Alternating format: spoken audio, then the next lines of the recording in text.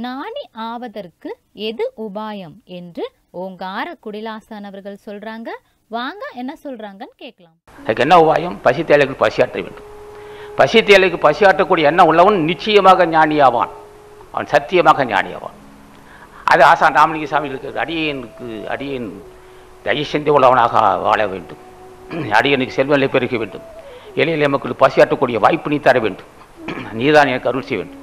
அடியனுக்கு செல்வநிலை பெருக வேண்டும். அடியன் கடன் கடன் சுமை தேர வேண்டும். ஆழ்ந்து சிந்திக்கக்கூடிய அறிவு வேண்டும். இறக்க சிந்தை வேண்டும் அன்பு உணர்ச்சி வேண்டும் கேட்டான். தய சிந்தை வேண்டும்ன்றார் சதி தய சிந்தை தான் ஒருவனை கடவுளாக்கும் தய சிந்தை தான் ஒருவனுக்கு சிறந்த சிறப்பறிவு தரும்.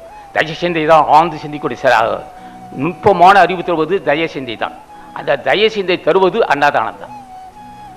ஆக உயிர்குலை தெய்வத்திலும் பசியாட்டி வித்தலும் ஆகிய உயிர்குலை தெய்வத்தில் புலான்புரத்தில் பசியாட்டி வித்தல் ஆகிய பசியாட்டி வித்தல் எல்லாம் வல்ல அருட்பெருஞ்சு ஆண்டவராகி ராமலிங்க சாமிகளை ஞானிகளை பூஜித்தல் ஆகிய கொள்கை கடைப்பிடிப்பவர்கள் தான் ஜென்மத்தை திட்டு கொடுப்பார். அவர் மீண்டும் பிறக்க மாட்டார். பிறப்பதற்கு தள்ளியா? இப்போ மீண்டும் மீண்டும் பிறக்க விரும்பலையா? குற்றம் இல்லையா? ஏற்றுக்கிறாயா? நான் அதை சாப விரும்புகிறேன் பிறக்க விரும்புகிறையா நோய் இல்லாமல் சாகணும் அல்லவா? அதுக்கு நையா ஜீவகாணி கொடுக்க வேண்டும். சாவறதை ஏற்றுக்கொள்கிறான் அப்படி நன்னைக்கு சாவர நாளைக்கு சாவரம் சாகும் வரையில் உடம்பு ஆரோக்கியமாக இருக்கணும் அல்லவா? அதுக்கு தான் ஜீவகாணி கொடுக்கும். ராமலிங்க சாமி வகுத்து நோக்கம் நீடி ஆயுள் பெறும் உடல் ஆரோக்கியத்தோடு இருக்க வேண்டும். அஞ்சான் நெஞ்சம். துன்பத்தை கண்டு அஞ்ச மாட்டான். நோய் அவனிடம் நெருங்காது. ஊசிய மாத்திரைக்கு வேலை இல்லை. அந்த ஊசிய மாத்திரை மாத்திரைக்கு ஊசிய மாத்திரை டானிக்கு இல்லாத வாழ்க்கை எதுவோ அதுதான் சிறந்த வாழ்க்கை. அதுக்கு என்ன வேண்டும்? என்ன தேக பயிற்சி வேண்டுமா? வேறு வேறு வேறு வேறு சடங்குகளால் முடியுமா? உடலாரோ உடல் ஆரோக்கியம் அந்த ஆற்றல் இப்போ வரும்னா புண்ணியத்தால் தான் வரும்.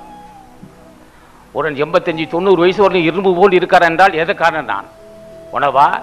வேறு வேறு வகையான பயிற்சியாளர்? இல்லை இல்லை. புண்ணியவான்.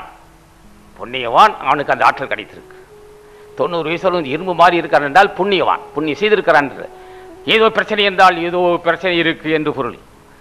நோய் இருந்தால் ஏதோ குற்றம் இருக்கு. அதுக்கு என்ன உபாயம்? செய்ய அன்னதானம். ஏதோ வாழ்க்கையில் தவறு நடந்து விட்டது பலகீனம் வந்து விட்டது நோய் வந்து விட்டது ஊசியை மாத்திரை மருந்து தேடுகின்றது உடம்பு. ஊசியை மாத்திரை மருந்து தேடுகிறான் என்றால் ஏதோ ஒரு பலகீனம் இருக்கு. அது யார் போய் இது ஜோசியம் கேட்க வேண்டிய அவசியம் இல்லை. பலகீனம் பட்டிருக்கிற நீ. ஏதோ குற்றம் இருக்கு ஒன்று புலால் உண்டு இருக்க வேண்டும் அல்லது பொய் சொல்லி இருக்க வேண்டும் அல்லது வேற வஞ்சித்திருக்க வேண்டும். தவறு செய்திருக்கிறாய் நீ. அதனால தான் வந்து நோய் வந்திருக்கு.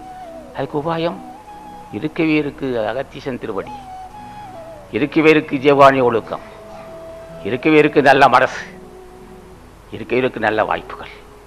இருக்கையிற்கு உடல் ஆரோக்கியம் இருக்கையிற்கு இளமை. இளமை இருக்கும்போதே செய்து கொள்ள வேண்டும் என்பது ராமலிங்க சாமியோட கருத்தாகும். இளமை இந்த இளமை இருக்கும்போதே முதுமை வந்தால் என்ன செய்வுகிறாய் நீ? ஆசானது அருளுரைகளை தொடர்ந்து கேட்க அரங்கர் டிவிக்கு லைக் பண்ணுங்க சப்ஸ்கிரைப் பண்ணுங்க. மறக்காம பெல் பட்டனையும் கிளிக் பண்ணுங்க.